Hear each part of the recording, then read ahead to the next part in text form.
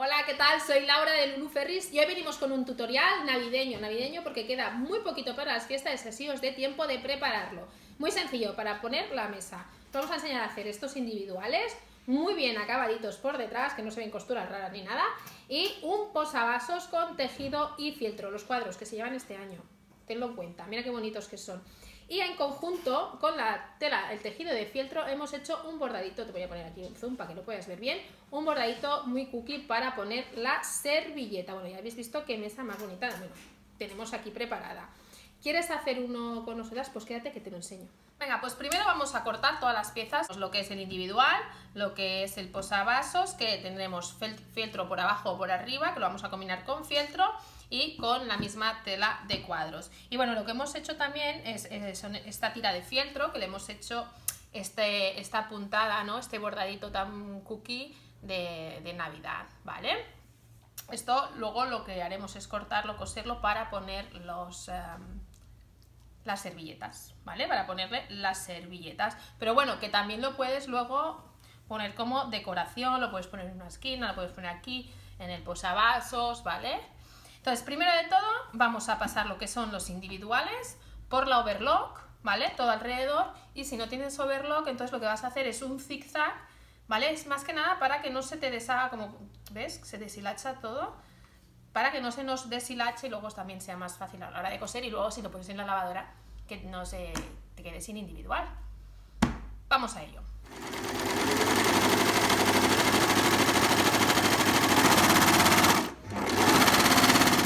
Ahora hemos puesto el zigzag para que veas si tienes, si no tienes overlock, cómo lo tienes que.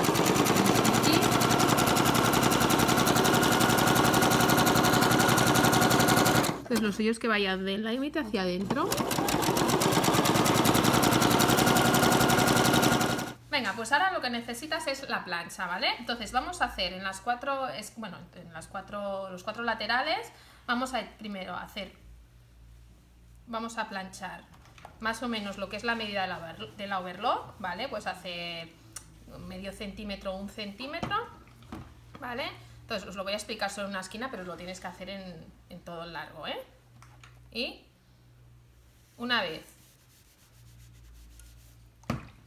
tienes esto planchado a medio centímetro, un centímetro, vas a hacer una doblez entre centímetro y medio dos, ¿vale? Y lo mismo, lo vas a hacer en los cuatro, los cuatro laterales, ¿sí? Y ahora viene esta aquí y esta vamos a entrar.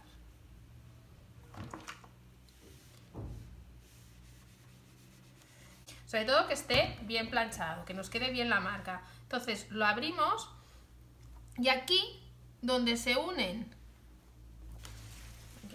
justo entre los cuadros y tal, esta marca donde se unen esta línea con esta, que os fijáis, es justo aquí, te lo tienes que marcar, ¿ves? Uno viene de aquí y el otro viene de aquí, ¿vale? Las dos dobleces grandes, no las pequeñas. Esto, márcatelo. Bueno, pues con esta marca, ¿qué vamos a hacer? Con los bordes doblados, la primera doblez, ¿vale?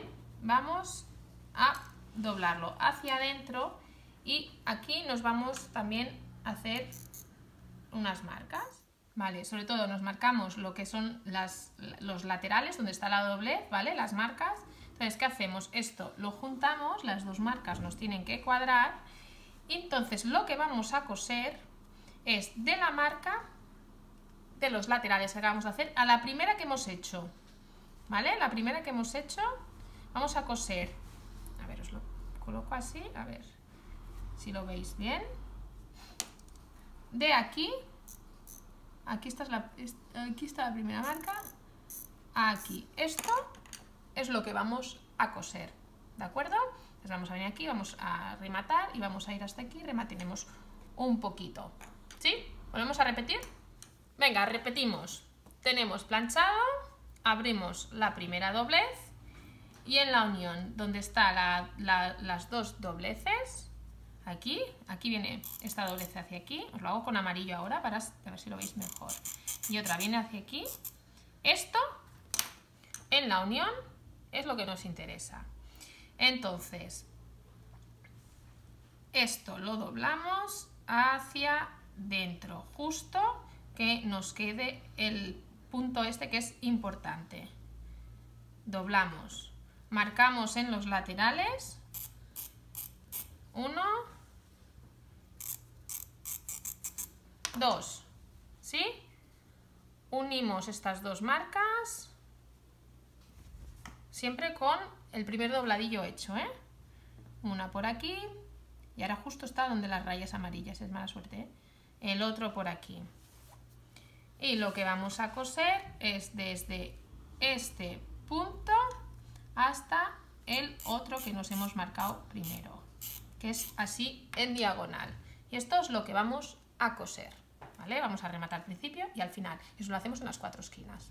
Venga, lo colocamos debajo, bajamos el prensatela, sobre todo nos damos cuenta que tengamos una puntada larga, un repunte, hay una puntada recta, quería decir, a un largo de 3 y vamos a empezar, rematamos, volvemos hacia adelante y hacemos una rematadita. Y esto ya lo tenemos. Esto que hemos cosido, lo que nos sobra en el paralelamente lo cortamos sin cortar la costura. Y ya le puedes dar la vuelta. Y así nos queda todo escondido, todo pulidito y esto lo planchamos, ¿eh? Pensad que solo hemos hecho, de las cuatro hemos hecho una esquina para enseñarlo. Y esto ya lo podemos planchar. Vamos a hacer las otras tres que nos faltan y vamos con el siguiente paso. Venga, pues una vez lo tienes ya las cuatro esquinas hechas y todo planchadito, te lo puedes sujetar con alfileres si quieres. Entonces lo que vamos a hacer es una puntada alrededor, ¿vale? Un pespunte, una puntada recta, todo alrededor para que nos quede eh, bien plano, bien sujeto y, esto, lo que es el individual, ya lo tendremos. Podrías utilizar una punta recta, podrías utilizar una decorativa también, ¿no? Venga, situamos el individual en la máquina, entonces nosotros lo hacemos cara para hacia arriba, ¿vale? Que el dobladillo nos quede abajo para así, si nos hemos torcido lo que sea, pues que no luego nos quede la puntada mal, ¿vale? Así nos aseguramos de ir rectas. Entonces lo que te tienes que buscar es un punto de referencia. Por ejemplo, nosotras eh, poniendo el prensatelas, límite de la tela con el límite de prensatelas, donde va a caer la puntada, ya nos va bien porque nos va a estar cosiendo, perdona Paula, ¿vale? Si yo lo palpo, aquí es donde me viene el doblez, con lo cual la aguja va a coser bastante en el límite del doblez, que es lo que quiero. No creo que la puntada me quede en este lado, no, sino yo quiero que me quede por aquí. Entonces lo que tienes que hacer es buscarte una referencia para ir recta y si no simplemente te coges la regla y te coges un marcador y te haces la línea para seguir, ¿no? Poder seguir la línea en recto y es más visual si vas a tener dudas si es una referencia entre la pata o con las líneas de, de la misma base, ¿vale? Y una vez lo tenemos, voy a empezar un poquito más para atrás, que me lo coloco aquí, y vamos a empezar. Y poco a poco, pues, vas haciendo. Eh, tenemos una aguja universal puesta de un largo de, de un ancho de 90 y luego lo que hemos hecho es cambiar el hilo, hemos puesto el hilo de la parte superior, el que viene la aguja roja, y el de la canilla lo hemos puesto verde, pero podrías poner un hilo en contraste, sobre todo si vas a hacer algún tipo de, puntada decorativa. Estamos haciendo una puntada recta, un largo de 3, ¿eh? Como este, esta tela ya... Uy, que me esta tela ya tiene los cuadritos, no necesitamos. Es importante cuando llegamos a la esquina ¿Qué hacemos? Clavamos aguja, levantamos pata, giramos, bajamos y ya seguimos.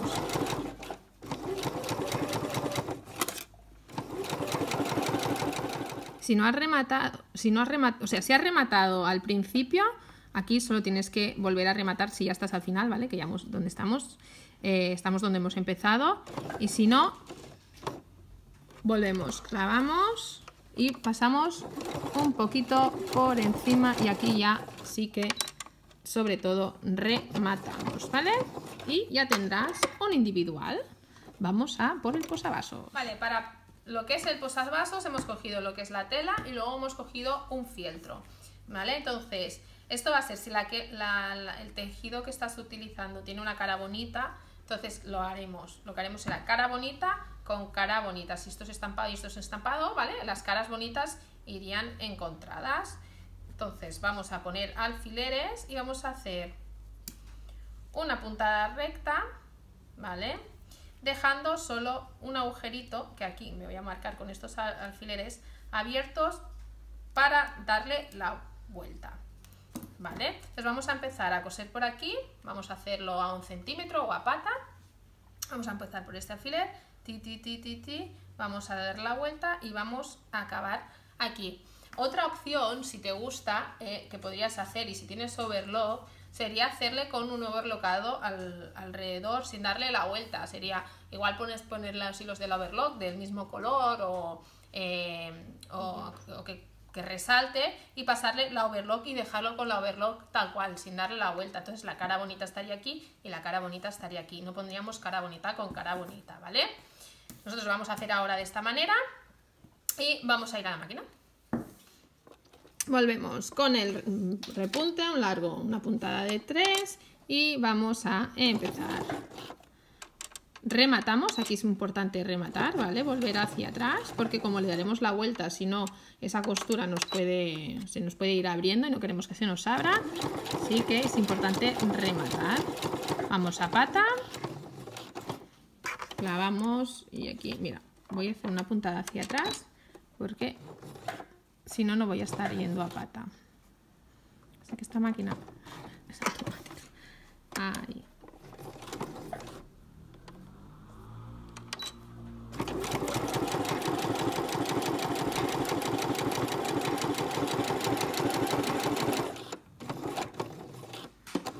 Clavamos, levantamos, giramos, seguimos.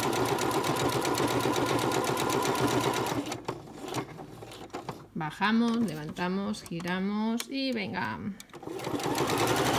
Tenemos ya el alfiler y aquí es donde vamos a dejar la abertura, con lo cual vamos a rematar.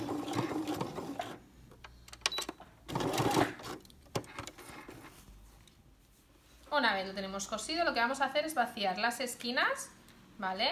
Cortamos, hacemos un cortecito en diagonal sin cortar la costura, ¿vale? Para que al girar nos queden mejor hechas. Si ves que en algún sitio te ha sido demasiado, puedes eh, cortar y vaciar para que no nos quede, no quede tan abultado. Ojo aquí, que le vamos a tener que dar la vuelta. Y lo que vamos a hacer es girar. Entonces le das la vuelta y lo planchamos. Vale, lo planchamos y ahora nos vamos a ir a la máquina y le vamos a hacer una puntada, ¿vale? Todo alrededor. Si has hecho una puntada decorativa en el individual, pues puedes hacerla también aquí. Si no, la puntadita recta, más que nada para cerrar este agujero que tenemos abierto. Otra opción que tendría sería hacer una puntada a mano, la puntada invisible, que tienes el tutorial en el Club Lulu de cómo hacerla y cerrarlo y que quedará tal cual. Nosotros vamos a hacer una puntada situado debajo. Rematamos.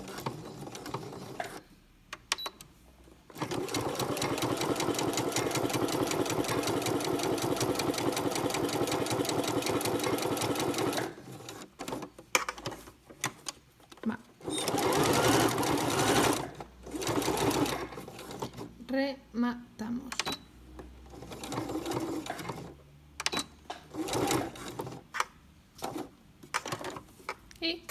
Ya lo tenemos. Esto ya lo tenemos hecho y ahora lo que vamos es a coger el trocito de la tira que hemos hecho con una punta de decorativa. Entonces tienes diferentes opciones. Por ejemplo, si tienes una pistola de cola caliente, podrías poner un, puntito aquí de cola y cerrarlo así. ¿Vale? Pones un puntito de cola caliente por aquí y tiquití. O si tienes pegamento para tejidos, también podrías hacerlo. Eh, puedes ponerlo así, ir a la máquina y con cuidadito hacer una puntada por aquí, tienes que tener en cuenta que se te va a ver, O puedes ponerlo, si tiene una cara bonita y una cara fea, cara bonita con cara bonita.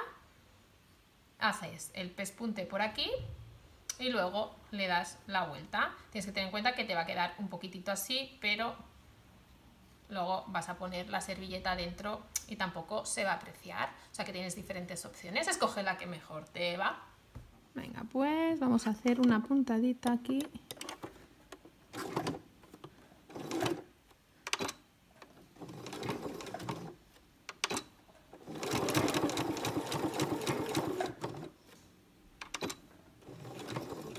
Estamos rematando al principio y al final, ¿eh? Y esto ya está. Cortamos bien los hilos y le damos la vuelta. Y así ya tendrás todo el conjunto para esta Navidad. Bueno, ya has visto que no tiene mucha complicación. Eso dependerá de los comensales que vayas a invitar, ¿vale? De estar más rato o menos rato. Y bueno, si quieres hacer más decoración de Navidad, en el Club Lulu, dentro de nuestra web, en luluferris.com, vas a encontrar un montón de cositas decorativas. Por ejemplo, vas a encontrar esta corona para colgar en la puerta o este árbol de Navidad con velcros para los peques que puedan jugar, que es súper divertido. Calendarios de ambientes, es que tienes un montón, letras, Christmas, un montoncito de ideas, ¿eh? Entra ahí, mira, chafardea que hay un montón de cositas y suscríbete, suscríbete para hacerlas todas, para poder hacerlas todas. Dicho esto, si te ha gustado este tutorial, por favor darle al me gusta, comparte con tus amigas para que se vayan preparando para estas navidades y bueno, si tienes algún comentario nos lo dejas aquí abajo y suscríbete al botón que te voy a poner ahí. Nos vemos la próxima semana. Adiós.